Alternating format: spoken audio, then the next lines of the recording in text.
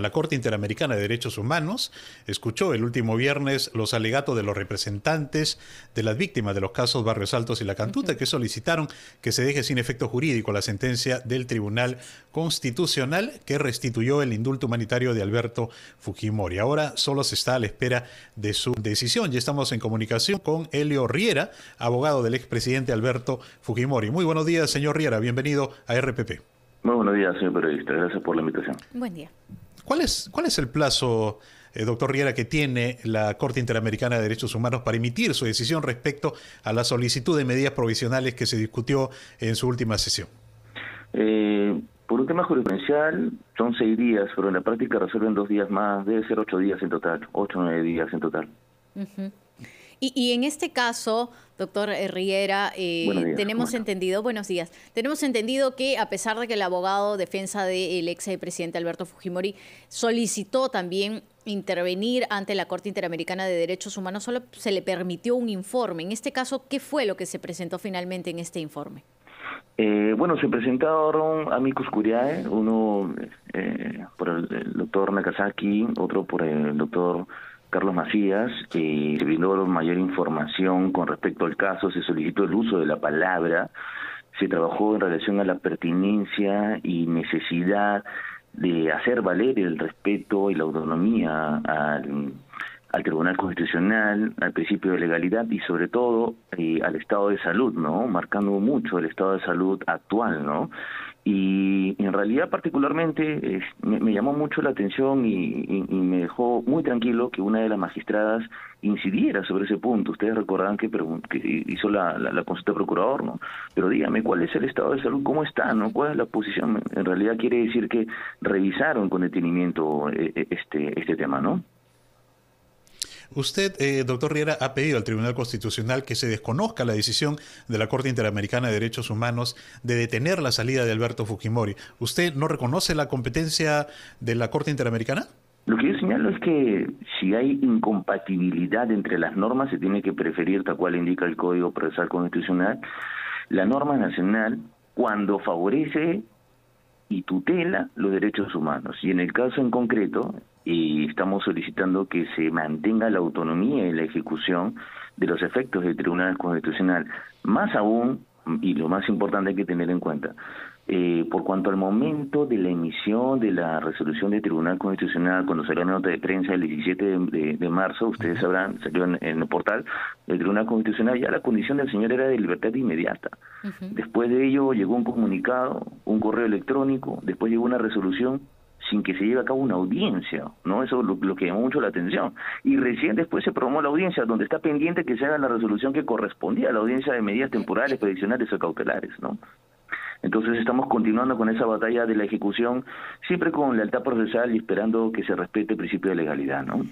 Y ahora, ¿hay un caso similar que haya observado también la Corte Interamericana de Derechos Humanos? Es decir, ¿hay algún precedente muy similar al caso de Alberto Fujimori o no se tiene?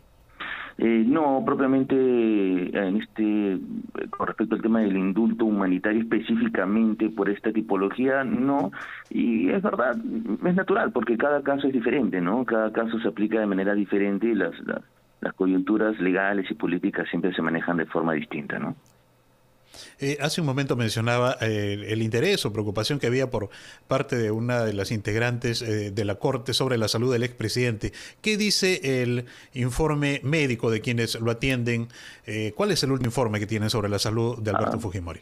Muy buena pregunta. El informe médico hace referencia a diversas enfermedades degenerativas eh, como sabemos, este tipo de enfermedades, incluso una de ellas señalando un, infarto, eh, mm, tenemos fibrilación auricular, tenemos problemas de, de, presión, trombosis, diversas enfermedades que han generado y han desencadenado que las consecuencias ya no se puedan solucionar, pues son degenerativas e incurables con el devenir del tiempo. Entonces, es lógica la premisa de partir que si cuando tenía el señor 79 años ya tenía una condición muy delicada, enfermedades, tipo cancerígenas, que los debilitaban. Es, es lógico entender que ahora, al borde ya de los 85 años, estas enfermedades generen pues efectos negativos, porque no se van a poder curar. Al día de hoy el señor es dependiente del oxígeno. Entonces, eh, lógicamente, eh, a mí particularmente me dejó muy tranquilo esa reflexión de la señora magistrada, entiendo, de Colombia, haciendo referencia con respecto al estado de salud del señor. ¿Hay una comunicación directa o constante con la familia? Se lo pregunto precisamente porque en las declaraciones de la hija de Alberto Fujimori, Keiko Sofía Fujimori, ella señala ¿no? que responsabiliza ¿no?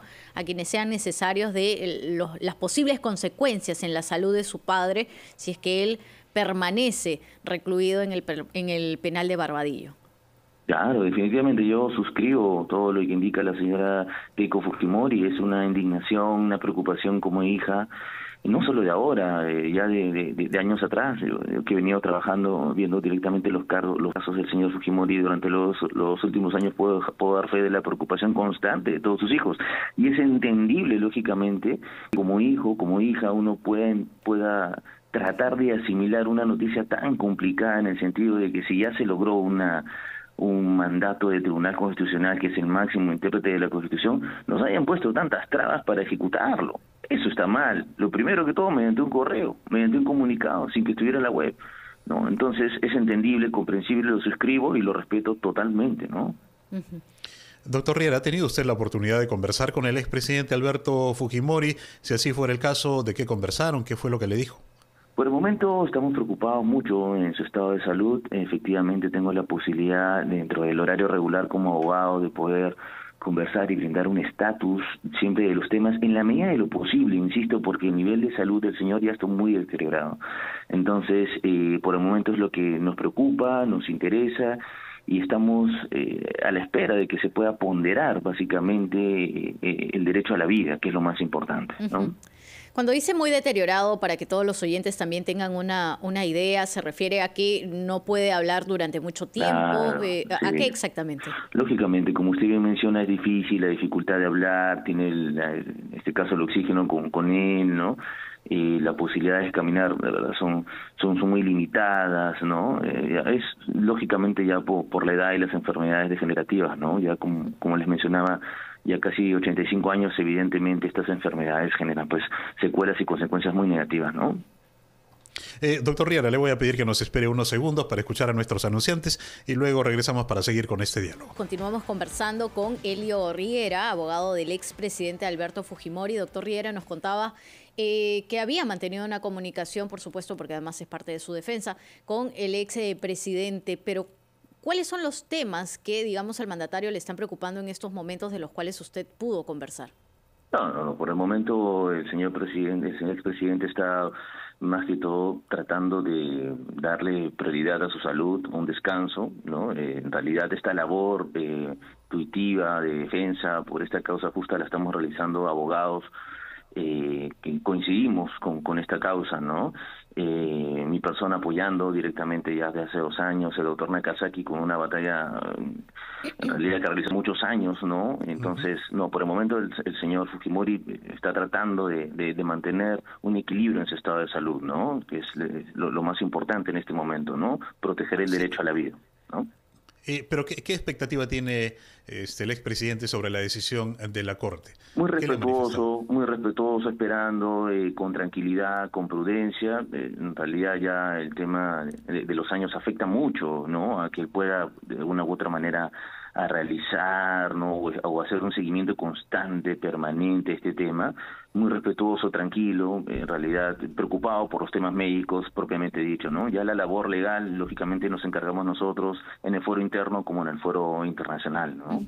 Eh, le preguntábamos puntualmente por, por estas eh, conversaciones, así sean breves, porque también en otras declaraciones su hija, Keiko Fujimori, lo que había dicho era que toda esta situación entre el Tribunal Constitucional, la Corte Interamericana, lo que había generado eran como episodios de ansiedad o similares a esos, y, y, queríamos saber en realidad si esto también les ha impedido una conversación ya puntual con ustedes, sus abogados. Es, es correcto, uno de los detalles que están en el informe médico son los problemas de ansiedad que generan con el tiempo que se agraven este tipo de enfermedades, ¿no? Es un estrés psicológico, emocional, evidentemente, ¿no? Sí, es, es parte del contenido de los informes médicos que oran en el expediente en el Tribunal Constitucional y que también han sido eh, prudentemente consolidados y explicados, ¿no? Eh, con mayor detalle en los amigos jurídicos que se han remitido a la Corte, ¿no?